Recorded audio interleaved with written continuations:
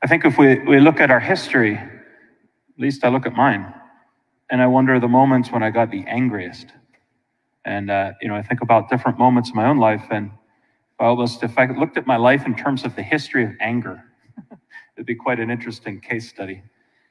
Um, remember the first time I got angry, and I think it was my first sin, was like when I was five or six years old, and um, my uh, somebody had given me Lincoln Logs, and I was at Beverly Road, one of our houses at our house there, and uh, you know, his birthday party and all that. And I opened up all these different gifts. Probably, I don't remember how many, but anyway, I opened up these Lincoln Logs, left them, and I went opening others. Well, lo and behold, uh, one of my relatives, uh, he opened that gift up and started to build with the Lincoln Logs. And so I was over doing whatever, maybe blew out the cake, and noticed that he was building Lincoln Logs with my Lincoln Logs without me. And so I went over and I just booted those Lincoln Logs as hard and as fast as I could. And he like looked up, and then I remember, you know, obviously my parents weren't too happy about that. But I remember how angry I was because I wanted control. Those were like my Lincoln Logs. Those weren't his. You know what I mean? And and so it was like this rage of like interiorly, I was like, damn. And then it wasn't just like, damn, then it was like a word of like, damn it, that's going on. And then, damn you, my uncle who, who was playing it. And then, boom, you know? And, and see, these are the three levels of anger that the Lord's ask is, is challenging us on. It's not enough just to say, I'm good because I don't shoot somebody or kill them. That's obviously a, a level that um, we all should be easily attaining in holiness. I think we can agree to that. But then within these levels of anger, the Lord's really challenging us to say, okay, at the very least, when you are angry, just say damn inside, right? Instead of like damning the person and then actions, right? So there's three levels of, of anger. One is like inside saying damn. The other is the, you know, the action, or the other is like, yeah, the action of like damn it. And then the other is damning the person. There's a lot of damn going on here, you know? Uh, I don't know where you are with what, you know, when you look at some different moments of anger in your life. But uh, Tim Gray would reflect from the Augustine Institute that many times when we get angry, it's because we want control. So we get angry at a spouse or a friend or a child. Why? Because they don't do what we want them to do in my case, my relative, like, how dare he play with my Lincoln logs? And then I think everybody can kind of apply this in their own way. So it's good. You know, maybe next time we go to confession, they pick up this gospel and, like, yeah, work through it. The word rakah is a tough word. It really just means damn, you know? It's not damning a specific person it's just saying damn to the specific like thing going on right? And then the, the next level would be like yeah really wanting that person that's doing that to be damned. Now i don't think at five years old i wanted to condemn my relative but i think you get the idea you know? But i often wonder is anger ever justified? Now, I don't pretend to know the answer to that question, nor do I pretend to say that I could be like Jesus going into the temple. The classic example of anger being justified is Jesus going into the temple and knocking down the money changers, right? So if you can get to that level of holiness and understand in Jesus' human nature how his anger was aligned with God's divine plan, there's your answer. I obviously, I wish I could attain that. But I, I, I think there could be something around justified anger when a Catholic institution proposes to be Catholic, and in return, what you get is not Catholic. So I would imagine, I, I don't know this for certain, but if you applied to Brigham Young University, you're going to get Mormon religious philosophy. And you won't feel like you got like anything like bamboozled or like that was unjust. It's like you applied to go there to get Mormon philosophy or their religion, right? And that's what you would expect. If you buy a Volvo, you expect to, well, get a Volvo, right? But it seems like in our Catholic world, when you apply to a Catholic university, what you get is anything but Catholic. You don't see Eucharistic adoration being encouraged for our children. You don't see the reading of scripture and St. Augustine. You don't see the, the study of the catechism. You certainly do not see Jesus Christ mentioned as the divine Savior from our sins and, and confession being encouraged. In fact, what you get is what I heard last night this dear girl who just graduated from a local Catholic college, and she had to, as she entered into that Catholic college, she thought, this is going to be great you know, I'd studied, she was, she went to Olshyn, she, she knew her faith, and she's like, great, now we're going to get to study Augustine and Aquinas and go to these next levels of our faith. And she was so excited. And she walks into one of her classrooms and they say, you're a white woman, therefore you have privilege. So this whole class is going to be about why your privilege is enslaving the rest of the, of the class.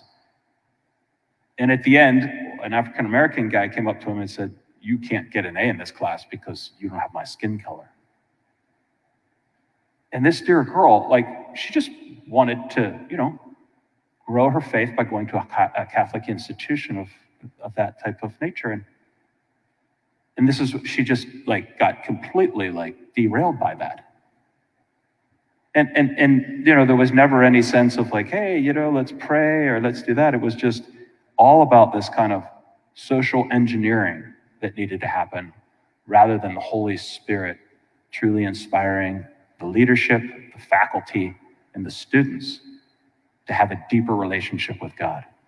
And for me, I mean, that's, that's one of the greatest you know, bamboozling going on today. Like I remember I was at a, a university in Washington, D.C. when I was in a seminarian, and Protestants would sign up to go to this prominent university in Washington, D.C. You know why? Because they knew that the Catholic theological tradition was so rich, they wanted plugged into it. They wanted to understand Jerome and Augustine and Aquinas. They wanted to understand the theology of the body.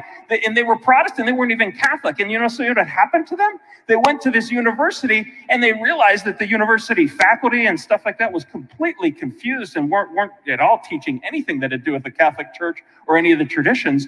And it was just at that time that St. John Paul II would produce what's called Ex Corde Ecclesiae, which means from the heart of the church. And St. John Paul II saw this and he called out these Catholic institutions that had sold their soul to the devil or other social things instead of allowing the Holy Spirit to, to be that intellectual giant that the Catholic Church is supposed to be in our universities. And he, he, he published this document called Ex Corde Ecclesiae.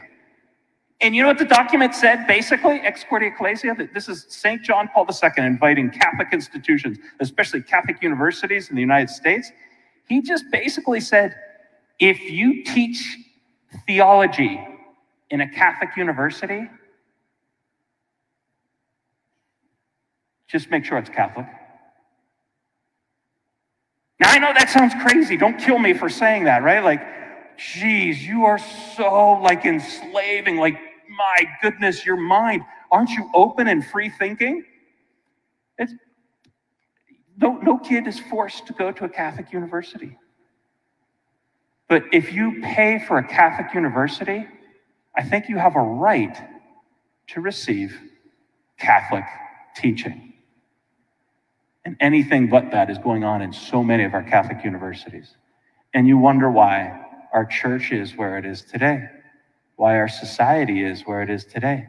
The moral fabric, the theological way in which God reveals himself to young people, to leadership in our universities, is being blockaded. And so, for me, one of the deeper questions is where can we truly direct and how can we direct just anger? Maybe not at a specific person or figurehead, but at the work of this blockade. And I tell you what, when I was talking to this young girl last night, she had just graduated from one of these institutions. You could see how deflated she was. She had this hope, this dream, that the four years at this university were going to put her on a level so that she could be the woman that she's wanted to be. And, and go into, I think she's going to become like a chiropractor or something, and at the same time be a mom, and all these wonderful dreams that she had. And it's not just that that Catholic institution punctured it, it just it blockaded her growth, it stunted her growth. But deeper down than that, it's a manipulation.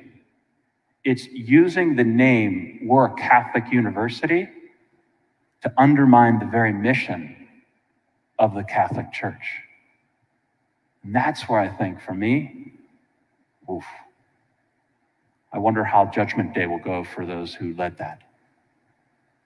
So let us pray today that, you know, maybe we can look at our own history of, of anger, raka, and pray, God, that we can give that over to Him, but we never lose that sense of our identity, who we are, whose we are, and therefore be able to call out what we need with great courage. That's what all the great saints did. That's what we're called to do. And boy, today, if you can't see that, that's like seeing that the Pittsburgh Pirates are going to win the World Series this year. You know, if they can't touch first base when they hit a home run, or the guy who catches the ball who's supposed to just tag the just tag the base of first, I think they'll win a World Series or go to a World Series before 2030, but not going to be this year. And we have to see that that's exactly what's going on in our Catholic universities. We're pretending like we're a Catholic university. We're pretending that we actually have a baseball team, but really what's going on is what we should be angry about. Our kids, our future, and our institutions that are supposedly Catholic need to be called out for that. So let us pray today that we too can pray for that, sacrifice for that. And if we ever have a chance to truly be rebels with the cause of Christ for the freedom that's so needed to be able to hear the truth of Jesus Christ in our universities.